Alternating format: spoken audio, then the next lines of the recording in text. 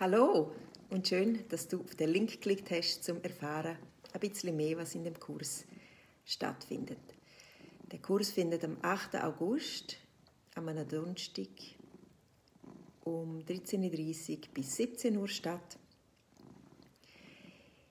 Was erfahrst du in dem Kurs?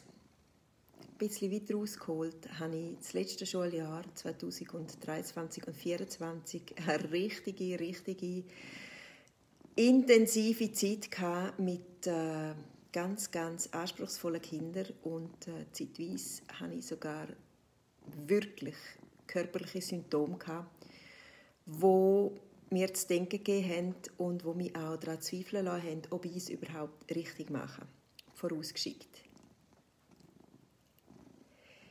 Wir machen immer das Beste, was wir können. Und es gibt einfach Situationen, wo wir richtig, richtig gefordert sind. Wir als Leitende in der Klasse vor allem brauchen die Nerven und die Übersicht, um überhaupt analysieren und reflektieren, was die Auslöser sind von diesen ganzen Problemen, was die Störfaktoren sind und wie man mit ihnen umgehen können. Ich verspreche nicht, dass wir sie beseitigen können. Das ist eine Utopie. Aber was wir lernen können, ist uns zentrieren und von dem Zentrum aus alles andere anschauen und sachlich damit umgehen im gegenwärtigen Moment präsent sein, du selber als Lehrperson. Und von dem her helfen den Kindern auch, ihr Zentrum zu finden und können möglichst konzentrieren. Wenn sie noch kleiner sind, wissen wir ja, die Konzentrationsphase ist weniger groß als bei größeren Kindern. Aber mittlerweile ist auch bei den grossen Kindern die Konzentrationsphase sehr klein und es braucht einfach immer wieder Inputs, dass sie präsent bleiben.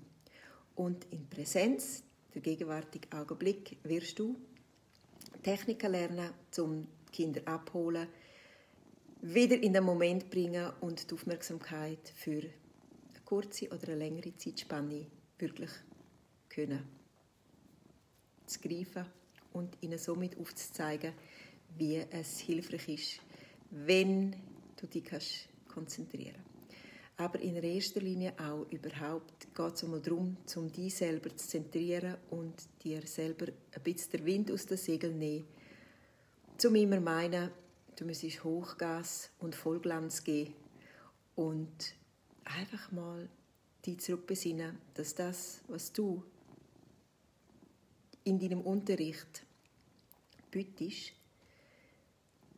das Beste ist, was du im Moment zu geben hast dass du selbstverständlich immer wieder suchst, neue Lösungen zu finden, neue Wege und dass es einfach nicht unbedingt an deinem Unterricht liegt, dass es so schwierig ist, eine Klasse zu führen, sondern dass sehr viele äußere Umstände und auch gesellschaftliche Wandlungen einen Einfluss haben.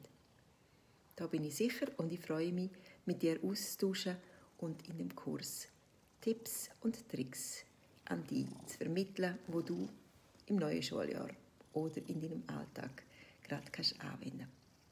Melde dich an